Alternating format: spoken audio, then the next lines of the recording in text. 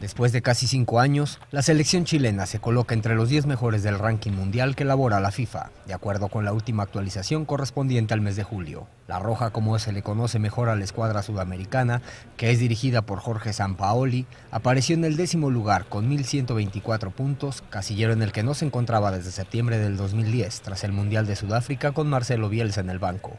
El combinado nacional subió un puesto respecto a la actualización anterior, en el cual se esperaba que pudiera haber ingresado a los 10 mejores, después de conquistar la Copa América, por lo que este mes logra colarse en la élite para superar a potencias como España en el onceavo y Holanda en el doceavo. Además, la escuadra chilena se ubica como la cuarta mejor selección de Sudamérica, tras Argentina en primero, Colombia cuarto y Brasil quinto. Los trasandinos mantuvieron el liderato escoltados por Bélgica, que se adueñó del segundo casillero en desmedro de Alemania.